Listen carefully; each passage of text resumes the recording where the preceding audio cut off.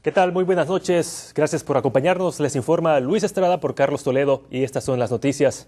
Alrededor de 200 estudiantes de la escuela preparatoria US Grant en Oklahoma City no se les permitió la entrada a la escuela. Eduardo de León nos cuenta por qué. Buenas noches Luis, buenas noches a usted. Efectivamente, estudiantes que llegaron tarde a la escuela se encontraron con una sorpresa, ya que encontraron las puertas de la escuela cerradas, esto por órdenes del director.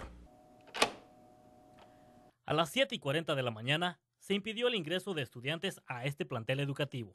Por una parte tienen que llegar temprano a la escuela para ganar su educación. Para la estudiante Yesenia Soltero, las nuevas medidas que están implementando dentro de la escuela son para educar a los estudiantes y sean puntuales a la hora de ingresar a la escuela. Sí, porque nadie como agarran todo el juego porque hacen una regla y luego la sueltan.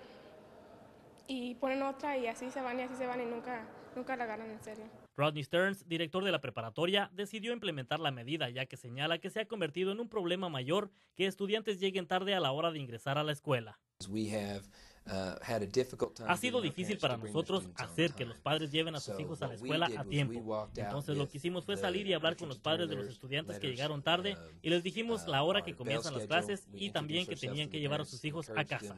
El director añade que las medidas son para enseñar responsabilidad a los estudiantes y al mismo tiempo dejar muy claro que no es aceptable que lleguen tarde. Si no están en clase a tiempo, es difícil ayudarles a mejorar sus calificaciones y ser exitosos. Sin embargo, esta no es la primera vez que sucede esto, según el director. El pasado 9 de febrero, de los 1.500 estudiantes que asisten a la escuela, 400 llegaron tarde. Les expliqué que estamos aquí para ser positivos, pero la escuela está en tiempos difíciles y queremos uh, mejorar. Por otra parte, hay quienes están en contra de estas medidas.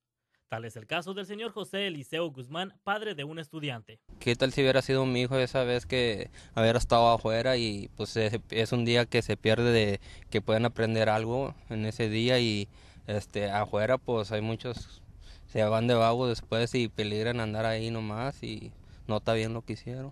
Luis, el director de la escuela, dice que en el futuro planea avisar a los padres antes de tomar medidas como esta y que el objetivo de esta institución educativa con este tipo de medidas es hacer más responsable a los alumnos tanto en su educación como en la puntualidad. Ahora Luis, regreso contigo. Gracias Eduardo.